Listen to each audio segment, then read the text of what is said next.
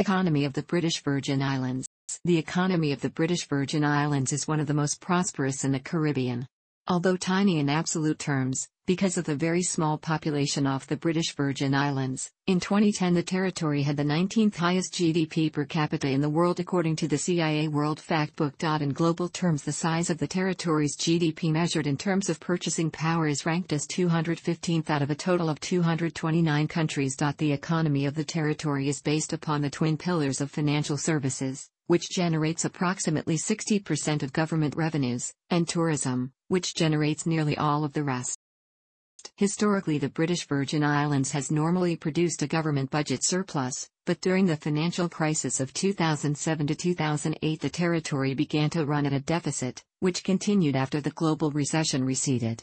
In 2011, the territory had its largest ever budget deficit of 29 million US dollars, approximately 2.6% of GDP. By 2012 public debt had quadrupled from pre-crisis levels to approximately 113 million US dollars, approximately 10.3% of GDP. Nearly 84% of that public debt was attributable to a new public hospital built in Road Town between 2003 and 2014.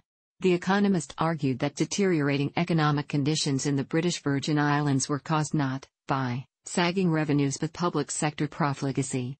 By 2014 public debt had been reduced to 106 million US dollars and the annual deficit reduced to 25 million US dollars, including budgeted capital expenditure. By 2016, the government had returned to a primary budget surplus, but public debt had increased to approximately 141 million US dollars and debt service accounted for over 12 million US dollars of the primary surplus. However, because of an ongoing aggressive capital investment program, and budget overruns on key public projects, the government ran dangerously low on available cash. Cash in the consolidated fund fell below 7 million US dollars, with average monthly expenditure at nearly 30 million US dollars, and government accrued over 13 million US dollars in due but unpaid invoices. In 2015, British Virgin Islands has been assessed as the 34th in terms of global financial centers. This was the highest ranking of any offshore financial center and of any Latin American country. The territory scored strongly in areas such as local taxation, rule of law, regulatory environment, and quality of law for human resources. It scored less highly on infrastructure, access to capital, and access to labor. The G20 considers it a tax haven and its banking system is described as opaque. The most recent national budget to be delivered was the 2017 budget. The territory's fiscal year runs from 1 April to 31 March. That budget presented a picture of declining revenues and increasing costs. It was also delivered prior to the devastating effects of Hurricane Irma later in the year, which is likely to have a deleterious effect on the economy and on government revenues. The 2017 budget predicted that 2016 final revenue figures of $310,470,000 which was a decrease of 6.2% from the year before. It also predicted recurrent expenditure for 2016 at $288,640,000 which was an increase of 3.6% on the preceding year. That would mean a primary budget surplus of $21,830,000 which would be a decrease of 56.6% from the preceding year. In addition, there was an estimated $21 million of capital expenditure in 2016, down 38.3% from the previous year, and debt service of $20,200,000, leaving a primary deficit of $19,370,000. In 2017, after accounting for transfers to reserves, there is budgeted to be a structural deficit of $31,674,000. This was to be financed by new borrowing and transfers from the Consolidated Fund. The government's total borrowings were $106.5 million, but the government has also underwritten significant loans made to the BVI Electricity Corporation and the BVI Ports Authority, meaning that the government's total loan exposure is $178.3 million. Much of the government's increased expenditure arose from staffing costs. Staffing consumes 37.7% of government expenditure, and increased in 2016 by 10.2% from the year before. The budget calls for it to increase again, but only by 2.6% in 2017. The bulk of government revenues, 60%, comes from taxes on goods and services. The next largest segment is payroll taxes, which account for a further 16%. Property taxes account for less than 1% of revenue. In 2015, a total of 922,372 people visited the islands, of whom 529,354 were cruise ship passengers and 393,018 were overnight visitors, mainly from the United States. The bulk of the tourism income in the British Virgin Islands is generated by the yacht chartering industry. The territory has relatively few large hotels compared to other tourism centers in the Caribbean. The British Virgin Islands also entertain cruise ships, although these generate relatively little revenue. However, cruise ship passengers are an important source of revenue for taxi drivers, who represent a politically important voice in the territory. Between 2007 and 2011, tourist visitors to be the British Virgin Islands declined by approximately 12.4%, largely due to the global recession which particularly affected North America, a key source of visitors for the territory. However, by November 2013 tourist numbers had begun to recover.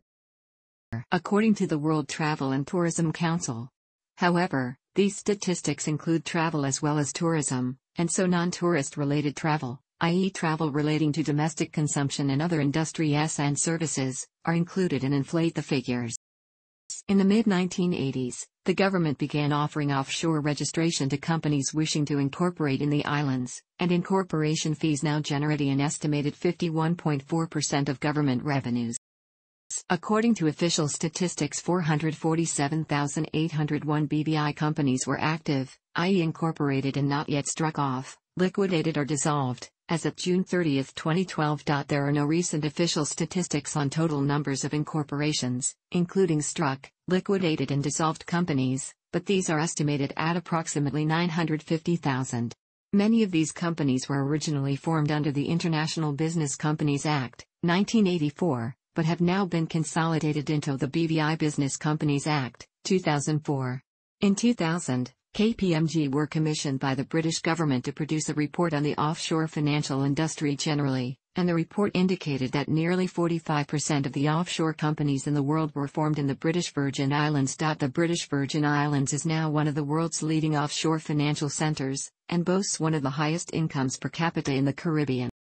In addition to basic company incorporations, the British Virgin Islands also forms limited partnerships and trusts, including Signature Vista Trusts, but these had not proved to be as popular as companies.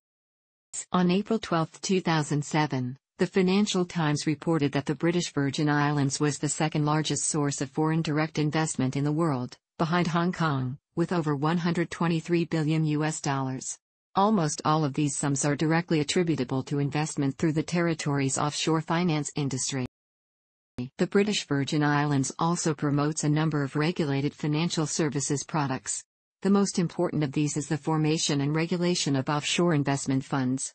The territory is also the second largest domicile for formation of offshore investment funds, behind the Cayman Islands, with 2,422 licensed open-ended funds as of June 30, 2012. There is no official statistics for closed-ended funds which are not regulated in the British Virgin Islands.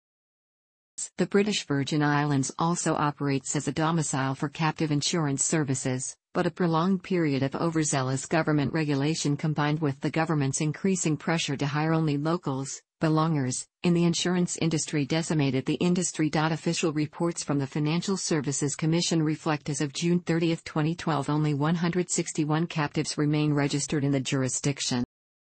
Former president of the BVI's Financial Services Commission, Michael Riegels, recites the anecdote that the offshore finance industry commenced on an unknown date in the 1970s when a lawyer from a firm in New York telephoned him with a proposal to incorporate a company in the British Virgin Islands to take advantage of the double taxation relief treaty with the United States.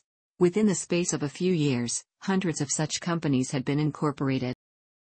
This eventually came to the attention of the United States government, who unilaterally revoked the treaty in 1981. In 1984, the British Virgin Islands, trying to recapture some of the lost offshore business, enacted a new form of companies legislation, the International Business Companies Act, under which an offshore company which was exempt from local taxes could be formed. The development was only a limited success until 1991, when the United States invaded Panama to oust General Manuel Noriega. At the time Panama was one of the largest providers of offshore financial service in the world, but the business fled subsequent the invasion, and the British Virgin Islands was one of the main beneficiaries. Livestock raising is the most important agricultural activity. Poor soils limit the island's ability to meet domestic food requirements. Fewer than 0.6% are estimated to work in agriculture.